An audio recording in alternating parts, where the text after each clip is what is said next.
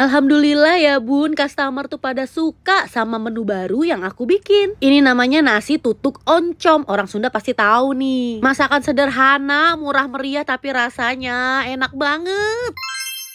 Pertama-tama aku mau masak nasinya. Di sini aku pakai nasi yang rendah gula atau low karbo ya, biar lebih sehat. Untuk rice cookernya biar ada fitur low karbonya. Di sini aku menggunakan Meko Smart Rice Cooker. Daya listriknya juga rendah saat memasak 400 watt dan memanaskan hanya 100 watt aja. Kapasitasnya 1,5 liter, modelnya estetik banget nih. Sudah terdapat 7 pilihan menu pintar ya. Nah, ini nasinya udah matang. Jadi untuk memasak nasi low karbo kita udah dapat saringan pengukus ya. Inner potnya juga berlapis keramik jadi anti lengket dan anti racun. Untuk setiap pembeliannya kalian sudah bisa join Meko Cars Club, kartu garansi dan buku petunjuk. Lanjut sekarang aku mau masak oncomnya. Ini ada oncom yang aku mau cincang-cincang halus dulu. Kalau kalian mau ulek juga boleh. Biar si oncomnya nggak bau apek, ini aku sangrai dulu ya sampai matang. Atau kalian mau bakar garang gitu tanpa dihalusin dulu juga bisa. Sekarang aku mau halusin bumbunya. Ini terdiri dari bawang merah, bawang putih, cabai merah keriting, cabai rawit dan kencur. Langsung aja kita tumis di minyak yang udah panas. Tambahin kaldu bubuk, garam, gula penyedap, disesuaikan aja. Setelah itu baru campurkan oncom yang tadi udah digarang. Aduk-aduk sampai tercampur rata, jangan lupa dikoreksi rasanya masih kurang apa gitu ya. Biar lebih sedap di sini aku tambahin pete, daun bawang, aduk-aduk. Baru yang terakhir aku pakai daun kemangi ini sengaja aku banyakin biar enak. Kalau kemangi udah masuk, ini masak udah nggak usah lama-lama lagi ya. Jadi kemanginya tuh nggak terlalu layu banget. Oke, mumpung masih panas-panas nih, kita campurin aja si oncom di nasi.